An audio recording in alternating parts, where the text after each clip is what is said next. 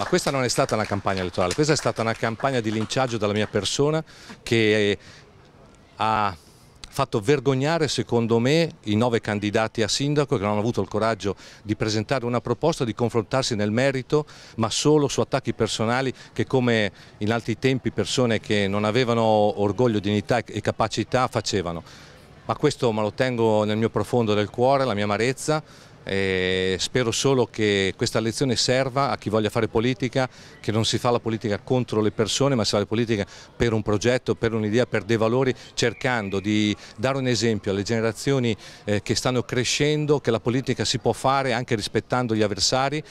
Un sindaco che ha cambiato faccia della città di Spezia, ha saputo impostare politiche nuove, coraggiose, di cambiamento sia economico che sociale, oltre a tutte quelle cose di amministrazione che riguardano i sindaci, penso ai rifiuti, penso a un rapporto nuovo con il porto su cui ha saputo lavorare davvero bene, una squadra di giovani entusiasti che lo ha affiancato, dei partiti politici che lo hanno appoggiato generosamente e hanno saputo tenere porte aperte a esperienze civiche, a tanti mondi e poi ovviamente ritrovarsi insieme anche con una famiglia più allargata perché a questo giro le liste che appoggiavano Perachini erano più di quelle del, dell'origine e hanno, e hanno saputo raccogliere un consenso, ripeto, fatto da molti fattori ma che era, che era nell'aria. Una sconfitta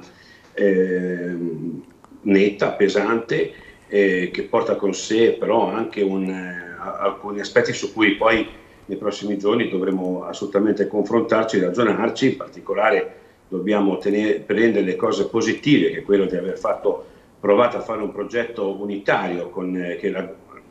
che, raggruppasse le forze del campo largo del centro-sinistra, eh, un una, una, buona campagna elettorale, una candidatura molto eh, preparata, eh, Piera Somovigo una, una figura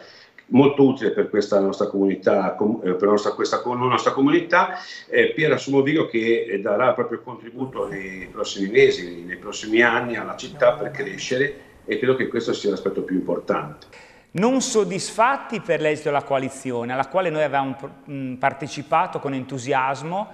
la lista dei 32 guerrieri della pace e dei diritti l'ha combattuta questa battaglia fino in fondo, Avevamo combattuto cinque anni di opposizione in maniera seria, puntuale, fatta di argomenti,